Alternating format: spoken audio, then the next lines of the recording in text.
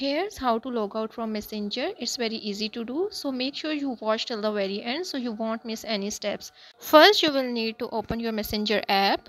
Once you are logged into your messenger app now you have to click on the gear icon at the top right corner. Then here scroll down. Now as you can see here it's not giving me the option to sign out.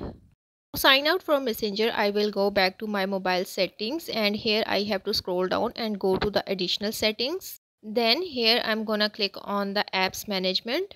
Now you have to select the messenger app. Then here you have to click on the clear data option and once you clear the data now you will be signed out from messenger. So this was how you can sign out from messenger